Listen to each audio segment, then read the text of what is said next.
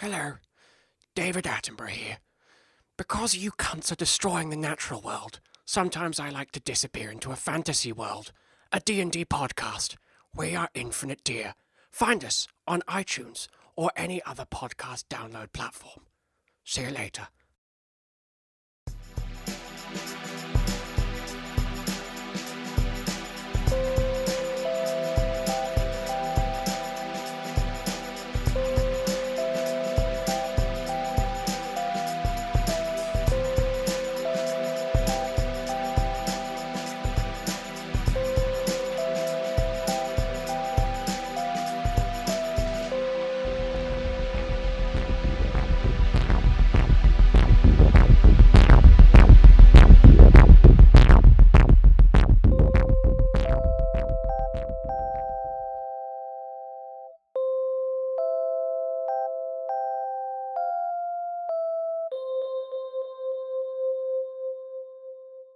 Life's a game, the world's a stage, and we are merely role players, where theatrical people play role playing games.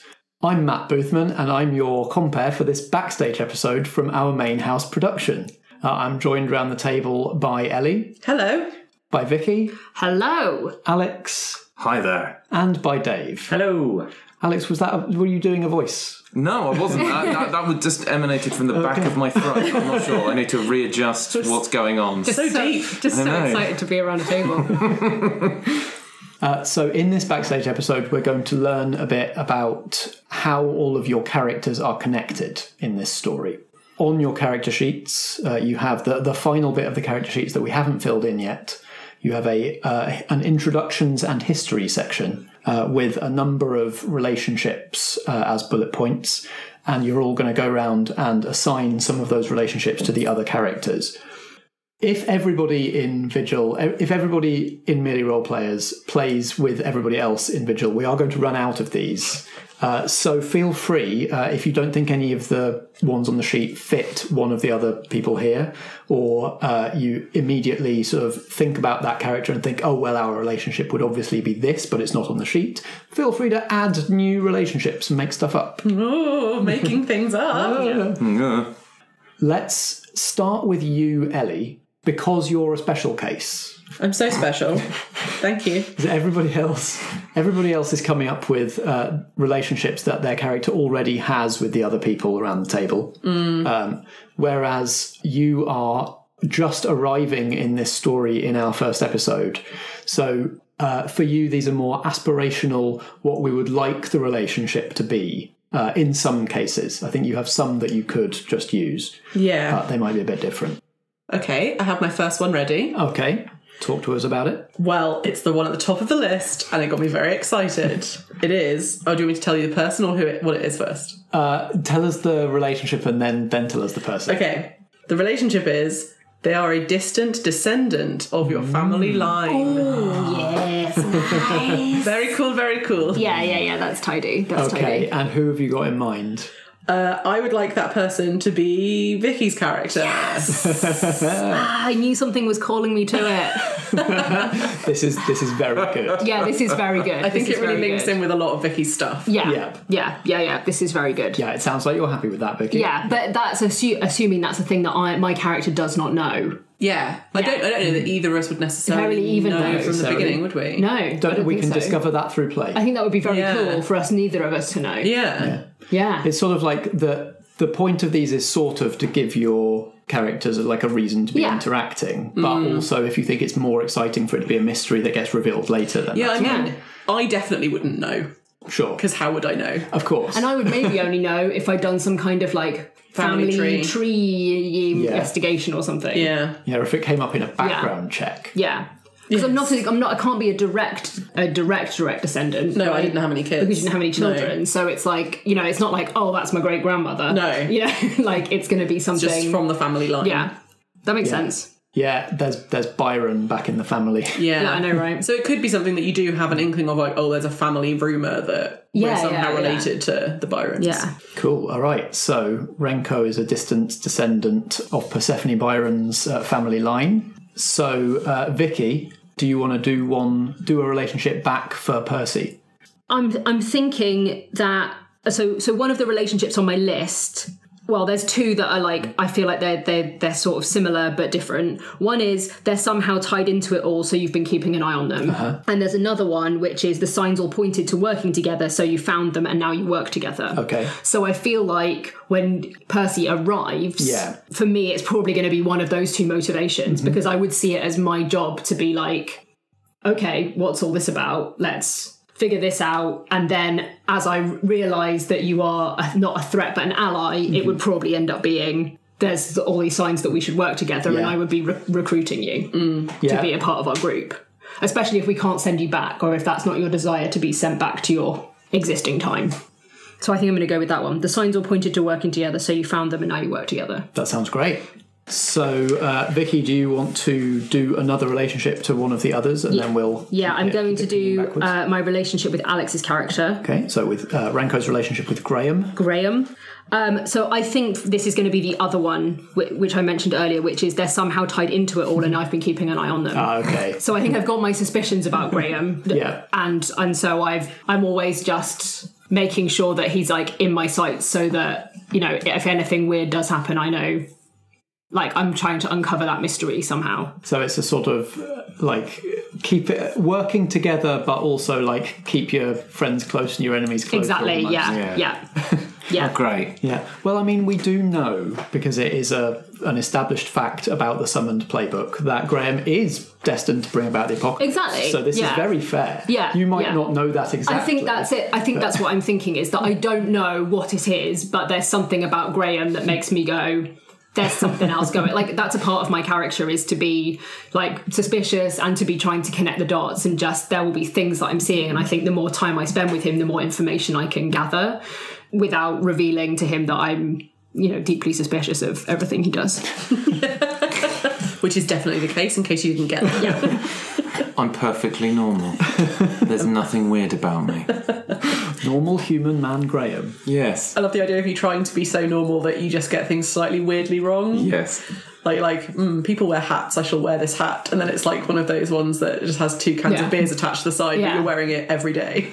And I feel like that's the kind of stuff that Renko considers to be a red flag, right? Where she's like, It was. It's that you have a you have a, a hat, an incongruous hat that you don't wear on your head. Right? Yeah, Yeah. I have a hat, but it's just always like just by my side. yeah, It's attached to me, but I don't wear it as a hat. yeah. Yeah, and also Graham smokes, but you never see him light the cigarette. Yeah, see, oh. this is stuff Renko would have noticed.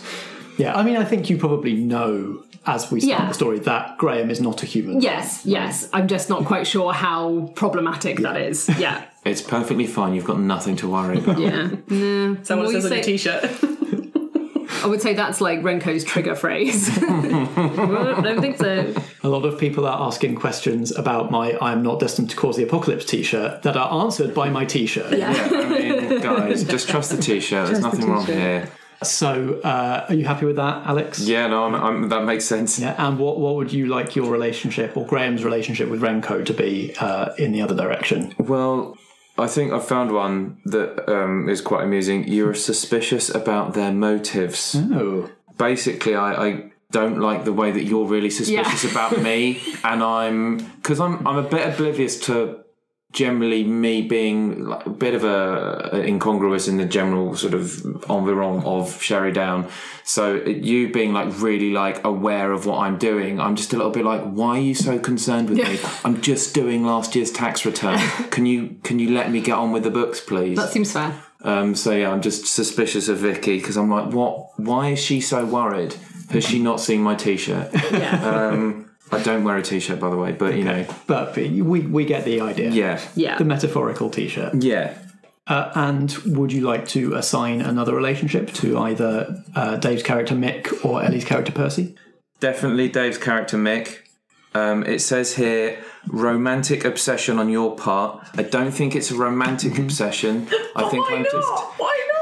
because uh, no, I don't know. In my head, I was like, that doesn't feel. I just quite like the idea of me being obsessed with a normal man. Yes, Right, yes, yeah, yeah. yes. So. I'm, I'm, I treat him almost as if you would a pet. Right. Yeah. So I'm just obsessed with him and his his daily life and what he does. So I'm just kind of in awe of him. I'm like, you're such a normal this is man. this is reminding me of um, Michael in the Good Place. You know, where he's like Yeah. kind of obsessed, but again, Yes. like as, but humans are like pets to him. Yeah, Yeah. I really, really like that. I, I'm Yeah. getting images of of you, to, uh, Graham, like very performatively inviting Mick out f- for a, a normal pint at the pub, Yes. and like you know, being this slightly slightly sort of stuffy looking character. Like very dapperly dressed, but trying to perform like normal Sherrydown bloke in the pub with Mick. Yeah. Yeah, uh, with my straw boater attached to my belt. yeah, You know, classic.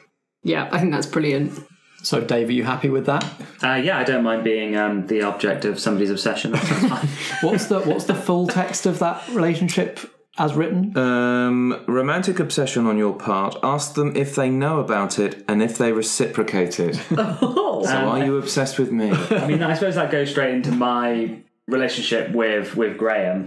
So I would say I'm not obsessed back. Okay. I think more suspicious because of their unnatural powers. kind of makes more sense for for um, my feelings towards Graham. Poor Graham just cannot stop arousing people's suspicions. Well, I think it's My literal presence is a concern.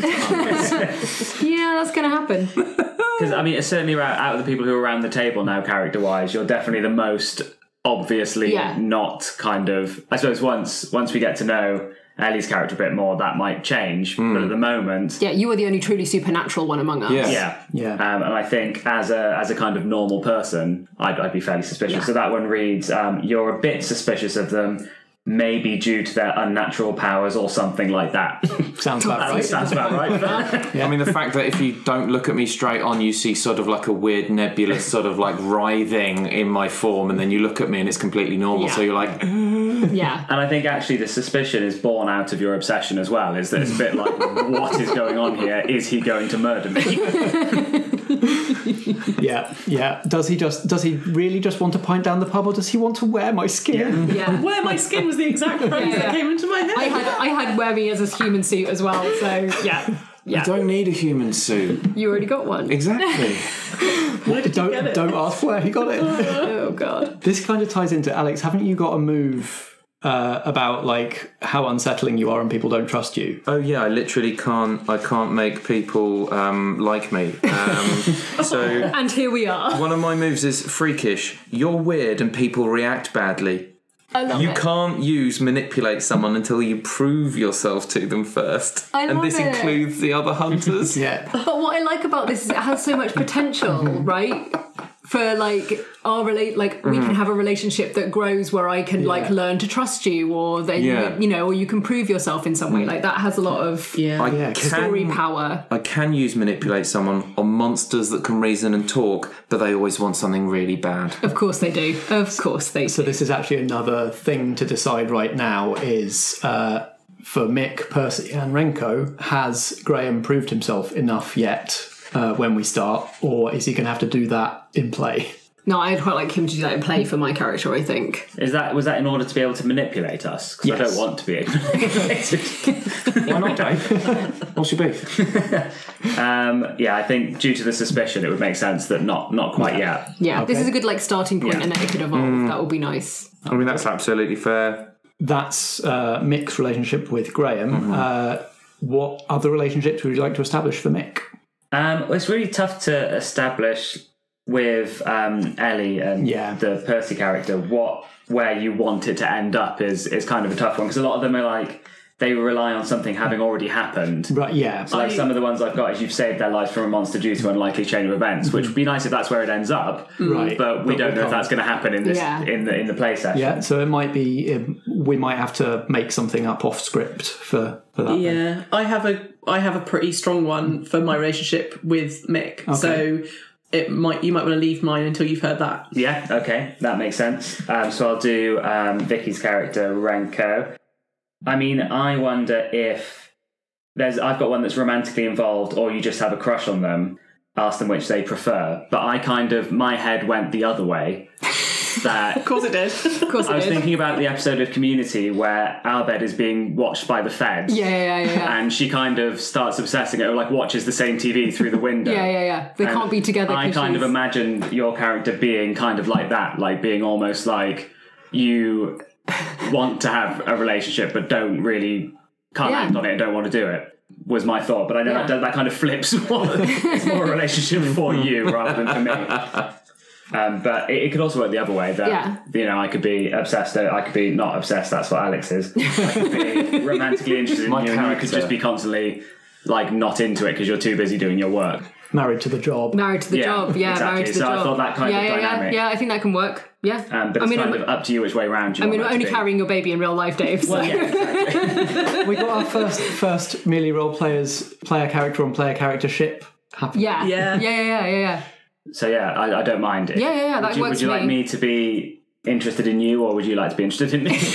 Well, maybe maybe it is but it is both ways, but neither of us have admitted to it, and I am also like very much consider myself to be married to my job, Mm-hmm. so it's like I've not even really entertained it. I love the idea of there being a will they won't they Yeah, yeah, yeah. fuel yeah, the series. yeah, yeah. That's Yeah. brilliant. Let's That's do good. it. I'm into Already. it. And, and also, there's no real emotional peril that where you could draw parallels from your own life because you are married and pregnant. Yes. So there's there's no damage. There was a there was a part of me that was like, do I play Renko pregnant?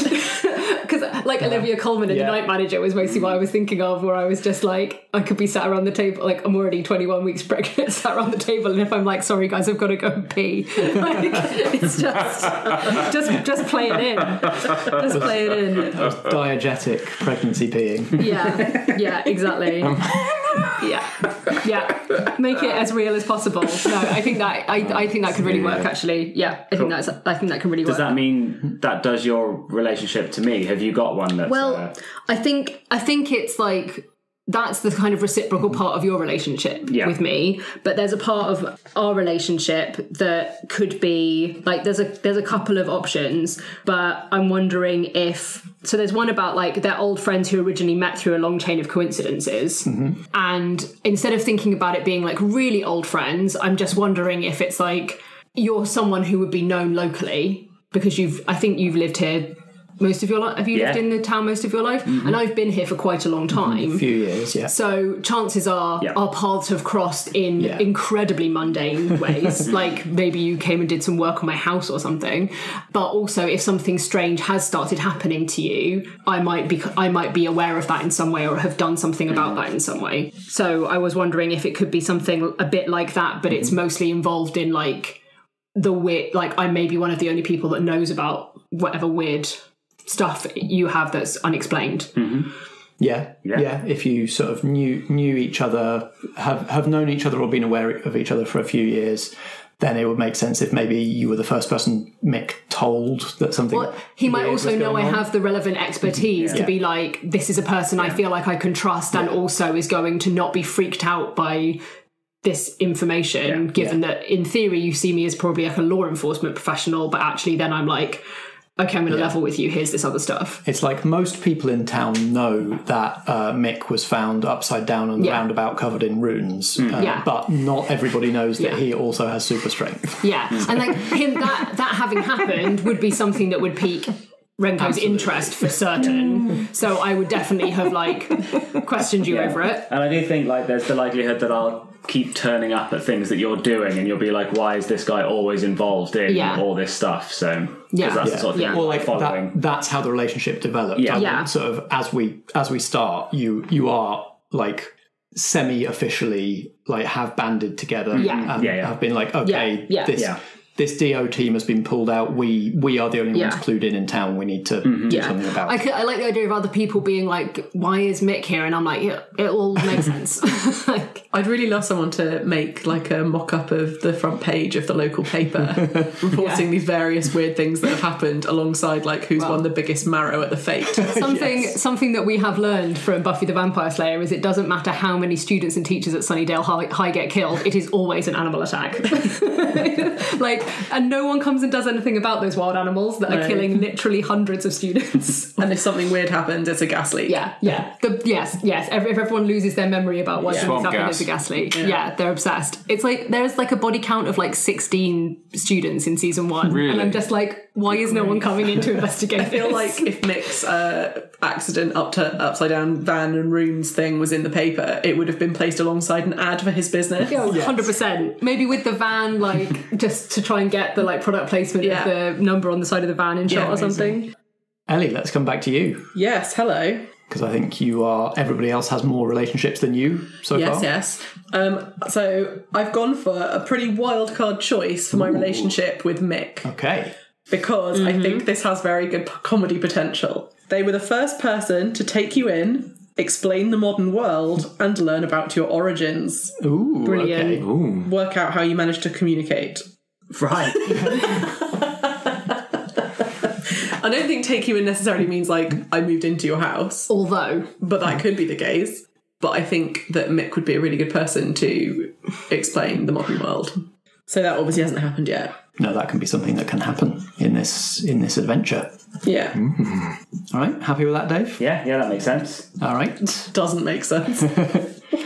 Uh, does that help at all with the relationship in the other direction, Mick's relationship with Percy?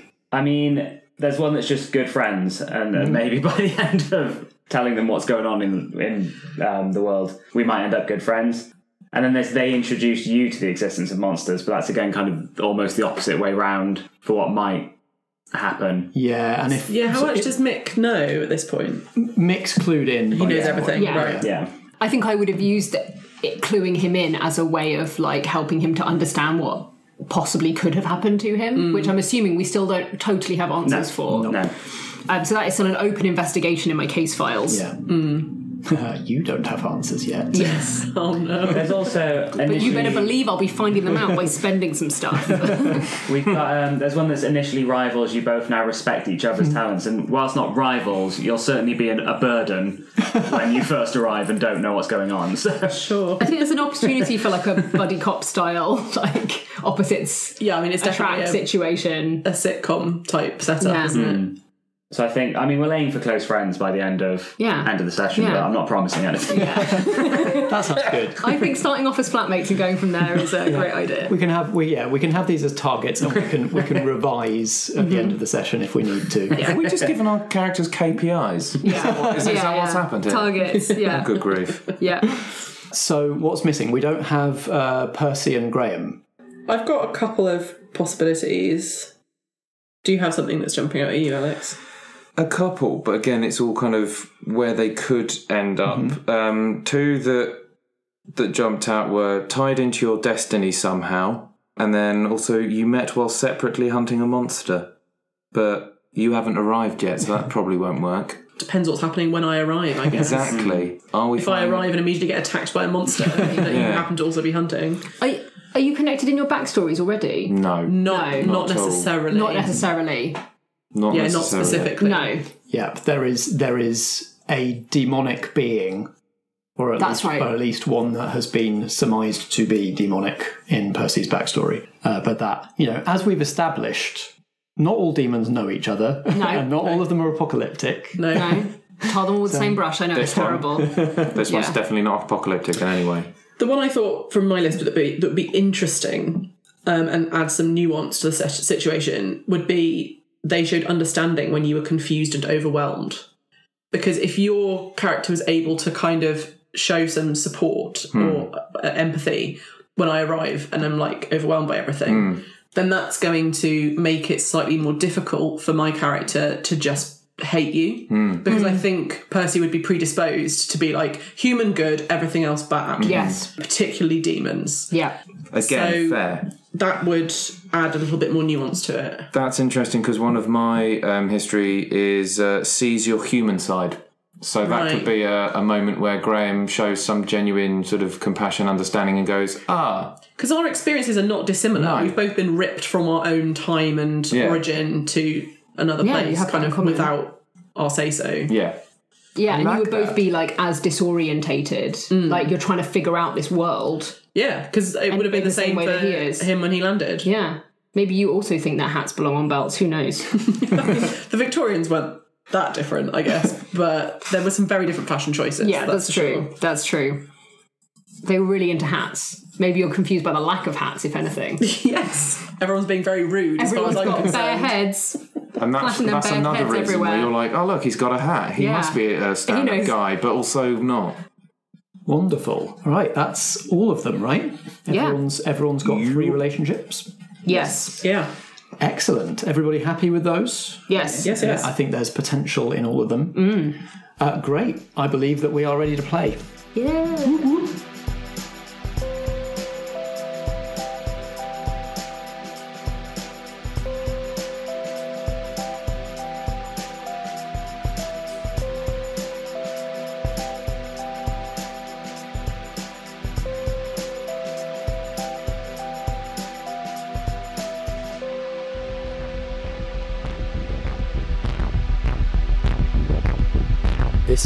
Vigil, a main house production from Merely Roleplayers.